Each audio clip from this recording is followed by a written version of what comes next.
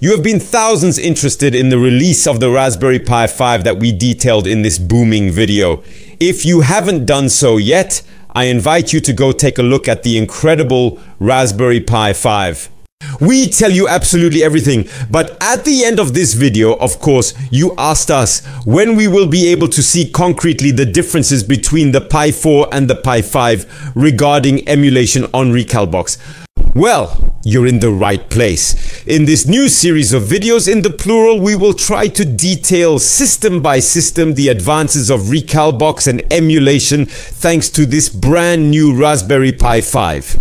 Today I suggest that we focus on the Dreamcast, a system that ran relatively well on the Pi 4, but you will see the incredible gap that there will be between the Pi 4 on one side and the Pi 5 on the other. Are you ready? Let's go!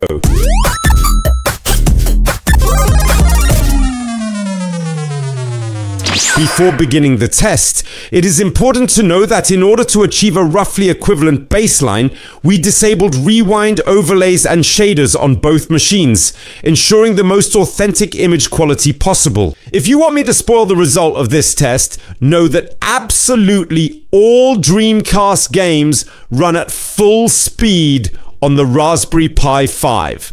So instead of doing a test that might quickly become boring because it's likely to be the same thing all the time, I thought you might be looking for something a little more original. Well, I suggest answering the saying, who can do more can do less, with upscale tests to show you what the Pi 5 can truly bring you in terms of a gaming experience from different perspectives. What does that mean in concrete terms? This implies that on the Raspberry Pi 4, the game will run in its native resolution, and on the Raspberry Pi 5, we will attempt to enhance it up to 1080 lines. You will see it's simply impressive, especially since some games are even compatible with the 16.9 hack to be able to play them in full screen without any image distortion. It is absolutely stunning. For your information, I genuinely invite you to focus your attention on the top right corner, which will indicate the frames per second counter to give you an idea if the game is running at full speed or not.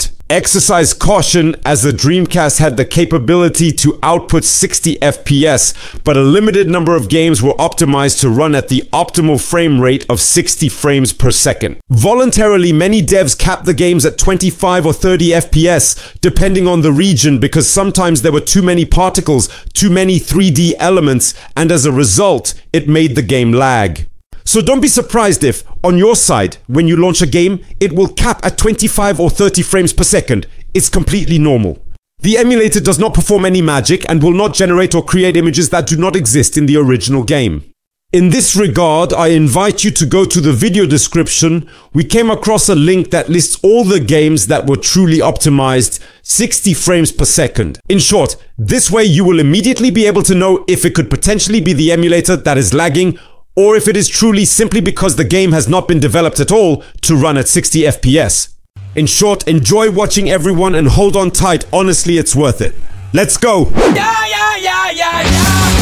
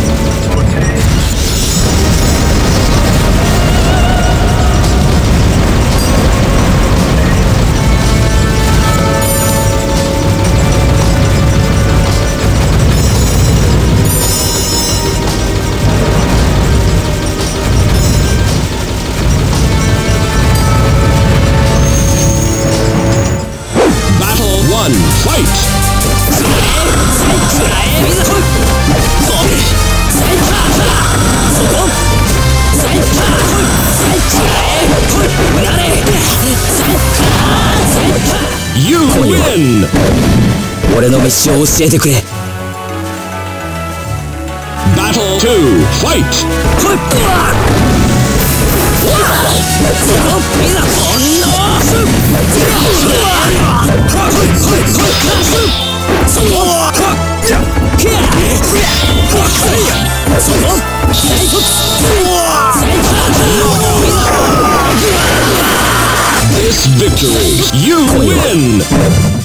Ready, go!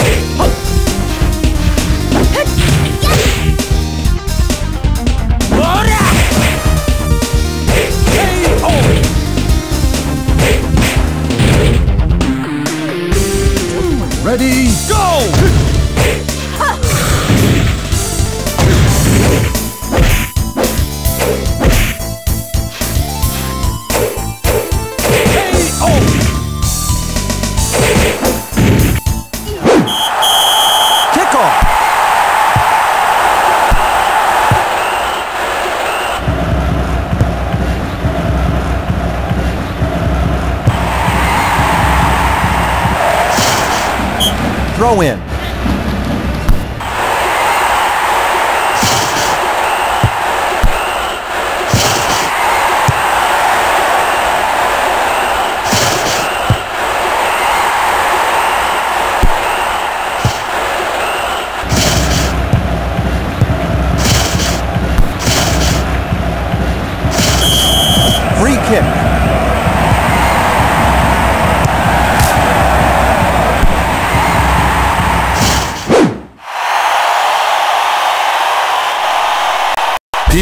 To serve. Hmm. Love 15. 15 love. Hmm. Fifteen all. Hmm. Fifteen thirty. Love forty.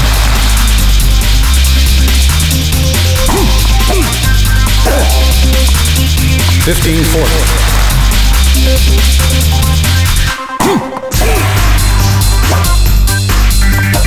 Not bad, right? What do you think of these little tests? Tell me everything in the comments. I'm really looking forward to hearing your opinion. In any case, here's what needed to be remembered from this comparison between the P4. We can say that it was reaching the end of its life. But it held its own against the Dreamcast since the games were still running relatively well on it, even though unfortunately it wasn't at full speed. And in parallel to that, the Pi 5 it's official. It can run all Dreamcast games at full speed and even allows you to access interesting upscale levels and some modes. Not all games, but some are well designed to be compatible with 16, 9 aspect ratio. And that, that provides a completely new dimension, opening up possibilities to potentially rediscover certain games without completely disregarding performance aspects and considerations. For us, it's a definite yes, and it's incredibly thrilling for the future. Because I want to emphasize once again, all the tests you see there are conducted on an extremely early, extremely alpha version of Recalbox simply took the image we had on the Pi 4, we transposed it to the Pi 5 period, end of story. We haven't had any time at all to do any optimization, tweaking, or anything. We will really do that with time. Just a little more patience. I still remind you that despite everything, this image is already available on our website for the first people who will have the chance to receive a Raspberry Pi 5. And then, what more can I say to you? If you happen to be a user of Recalbox RGB JAMMA or Recalbox RGB Dual, I would like to remind you once again that all games, without any exceptions, will run at full speed on the Dreamcast console. And it's very important because you you won't use overlays, you won't use shaders, you won't use rewind, etc. So, as a result, it will provide you with a genuinely 100% complete speed experience similar to how the games were in their original resolution. Here are these small pieces of info. Don't forget that this is just the first of a long series of videos we will make. Our main emphasis will be on the Nintendo 64. We will prioritize the Atomiswave, the Naomi GD, and we will also give significant attention to the Sega Saturn. Yes, we will also exhibit the various possibilities of what you can do with the Saturn thanks to this Raspberry Pi 5 computer. Just so you know, small comments, small thumbs, small likes, subscribe, etc. Put the bell as usual to give strength to this channel and especially not to miss the next videos. Thanks for following us and looking forward to seeing you soon for more videos. And don't forget, join us on Twitch because we also do all these tests live. Don't hesitate to come and ask us to try this or that game. It takes place every Saturn Sun between 10am and 1pm. See you soon, friends!